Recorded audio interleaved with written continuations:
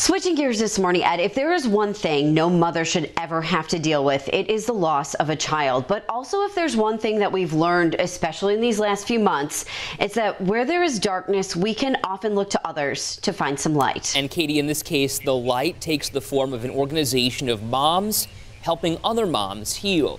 7 Eyewitness News reporter Taylor Epps has how these moms are rising once again through their Buffalo Strong spirit. Suffering through trauma can be a lonely and isolating battle. I felt alone.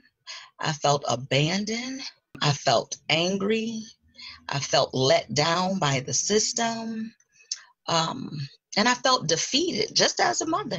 On April 25th of last year, Tonja Newkirk's son Daquan was shot and killed in front of her home on East Amherst Street in Buffalo. You lose a part of you. You know, um, that was my only child. More than a year later, she says she's healing and finding new reasons to smile.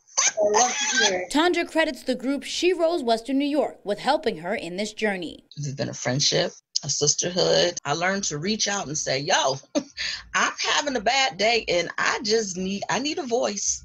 Tamika Maclin started the group after her own daughter was murdered in 2013. And I wanted to teach other women it's okay for them to heal, and there are ways that they can heal. They have options. Now, she's created a support network of hundreds of women, and she's helping them cope with the isolation of COVID 19 and the emotions of the holiday season. I just started a virtual event, She Heals Academy, and we take them through the healing process. But we welcome any woman that has dealt with a traumatic event. She also recently started the She Cares program, where she drops off a basket of gifts for one grieving mother each month. Um, we want to let them know that we're still thinking of them, they still matter, we still love them, we support them, and we're here for them. They're currently collecting donations for these baskets and accepting any women who need help healing. If Daquan was here, Daquan would tell me how proud he is of me of not giving up.